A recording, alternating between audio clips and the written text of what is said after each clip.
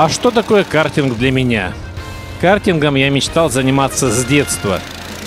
Картинг прокатный в Магнитогорске появился в 2003 году. До этого он был не в Магнитке, а в Москве. И вот я там в первый раз на нем и прокатился. Теперь тема другая. На картинге в Магнитогорске занимались и сразу те, кто балдел от автомобильного спорта. И по сути, и в тот самый момент я стал чемпионом города в своем весе. Ну а потом все это дело и закрылось. Хотелось, но не получилось. А вот затем в работу включился тот, чье величество в городе неоспоримо. Магнитогорский металлургический комбинат. И все стало просто. Везде и всюду на всех курортах заработали картинг-центры. Да, молодцы. А вот сегодня мы с гордостью представляем вам картинг-центр на центральном стадионе. Ах! Красота какая! Красота-то какая! И вот я наконец-таки вам показываю, что, что случилось. В свое время я вам демонстрировал картинг на центральном стадионе, накрытом стадионе. Другого варианта у нас и нет. Что мы делали? Помнится, мы делали и соревнования, и все что угодно. И вот, наконец-таки, сегодня, сейчас мы вам это будем демонстрировать.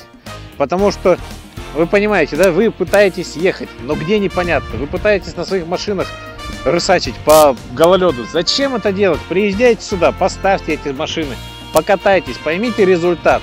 Здесь вы даже ничего не разобьете, потому что это круто, это картинг.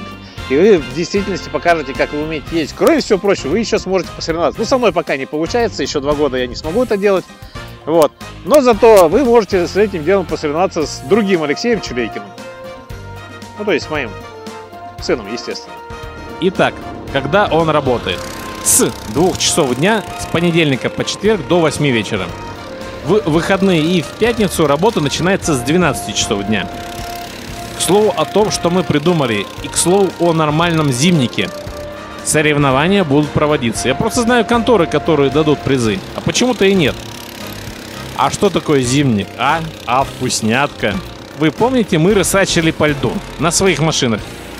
И такое случалось без нас, когда машины на льду и били. Там сложно.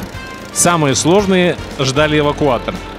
А он туда и не ехал. Самые простые ремонтировали свое авто. Здесь все проще. Ездите на абсолютно нормальных и грамотных картах. С приводом тормозов только назад. У каждого карта нормальное подключение к секундомеру. Ездите больше и получаете результат.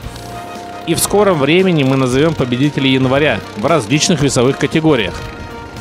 А вот вы посмотрите, как катаются работники ММК.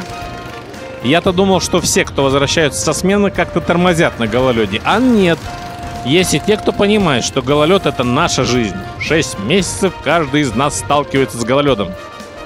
К слову о тех странных и непонятных учениках. Прежде чем сесть за руль, вы сюда придите. Цены в разы дешевле. Прокатитесь, а потом за руль-то нормальный, и вы поймете гололед. Это, конечно, не для каждого, но мысль одна. Все, кто хоть раз смотрел автостоп, осознают, как это делается.